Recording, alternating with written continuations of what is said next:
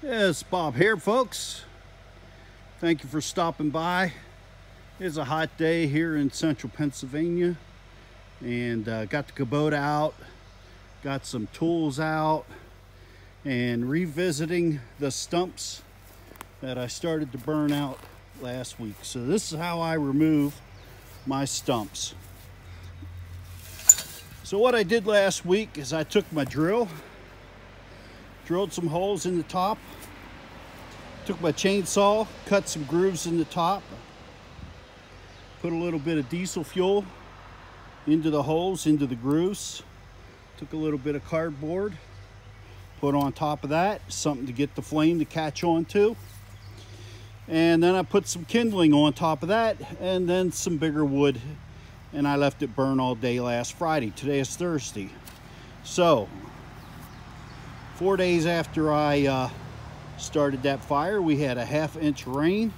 And this fire, um, I didn't add to it. Um, just left it go and it smoldered and burned until Monday. And actually, it is still hot in there.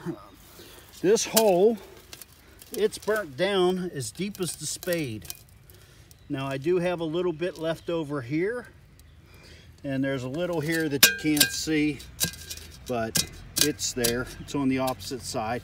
But as you can see, maybe, there's a little bit of smoke coming out of there. So it's still hot down in there. And what we're going to do today is we're going to drill some holes into the side of this uh, part of the stump that I believe sends a root out. And we're going to get that burnt down so that it's below the top the you know it's below the uh, soil and then we'll backfill it with uh, some soil that I have. This one over here didn't do as well so we're going to do the same thing on that one. We're going to drill around. I think the fire's out on this one completely. We're going to clean this out and then drill around the outside edges and uh, put a little kerosene or not kerosene diesel fuel. Kerosene would work also. Put some uh, cardboard on there, some kindling, and some uh, wood. We're going to light the fires and let it burn again. Um, I'll continue to put wood on it all day today. Um, and hopefully we'll get a good burn on these stumps and this will be the last time I have to light it. So that's it, man. It was really easy. What I'm gonna do probably, I have some stumps up there I'm gonna cut and use that for wood to fuel this fire. And then I have some logs up there that are wet. I might even use them. So all depends on what I run out of or what I have. So, you know, it's, it's just use what you have. Go slow, take it easy, keep an eye on things. We've had a lot of rain this year. We've already had this year in the first three or I think the first four, five months. This is the end of June. Uh, as much rain as we normally get in a year. So we're way above normal. In fact, uh, the hole that the deer drink out of over there is full of water. So there's water right below the surface over in here right now. The grass is wet from the overnight uh, low temps and humidity. And there's no wind today. Last week there was a lot of wind. If you watch this video, or the last video and this video, you can compare the contrast. So I'm gonna set the camera up. I'm gonna shut down, restart it, set up a time lapse, and then kind of just do like I did the last time and uh, videotape me coming and going and, and getting this thing going. So it's a hot and humid one today, folks. Um, sweating like a, sweating like something, I don't know. But uh, we'll get her done. And uh, I uh, hope you enjoy the video. I might have to recharge in the middle. So later tonight, I'm gonna mow some grass. This grass is real tall. And uh, my uh, one of my neighbor farmers, farmer neighbors, moving his equipment from field to field. So, okay, I'm gonna put the camera inside the uh, tripod. Let's see if we can do this. All right, I got it in the tripod. I'm gonna move it back, get a nice wide angle, move the camera into the shade. All right, here we are. Oh, that looks like a good shot right there. Okay, I'm gonna shut down and uh, then put it in time lapse and record like I did the last time.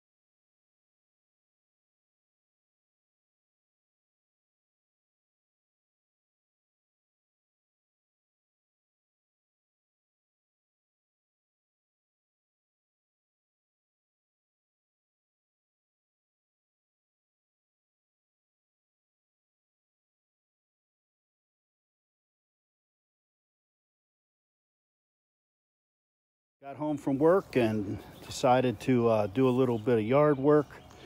This stump here, the bigger stump of the two, is completely gone. It is gone. All I need to do now is fill that sucker in. I'll do that on my next, um, on my days off next week. And over here, where you see this little pile of wood, there's a little bit of the stump there. The rest of it is down to ground level or below. This one here burned out a little flatter than this one. This one here is, I don't know if you can see the, the divot, but the divot is about 10 inches deep. This one over here didn't create a divot. Not sure why. It was a smaller tree. But as long as it's done at the, uh, down to the ground level, uh, I'm, I'm perfectly satisfied with that. So I'll probably uh, light this side here on fire next weekend, what I call my weekend, and uh, we'll uh, get her done. So uh, it's actually still burning. Uh, something's burning, whether it's that wood on top or the wood on, or the stump underneath it. it's actually burning, even though we had a severe thunderstorm today. Um, it's still it's still burning so um, I'm gonna basically call this a done project except for the fact of filling it in. Maybe I'll come back and uh, show y'all filling it in. Uh, over there I have a divot. Uh, this one here was a lot deeper. When I started this project I kept stepping in that hole there. Probably uh, that hole is uh, I believe from an older stump not sure if I ground that one out or not, but anyhow, I threw a little bit of dirt in that. I'll throw a little bit more in.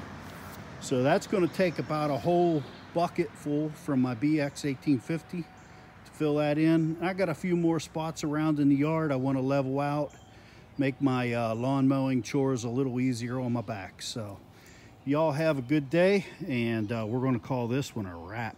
Thank you.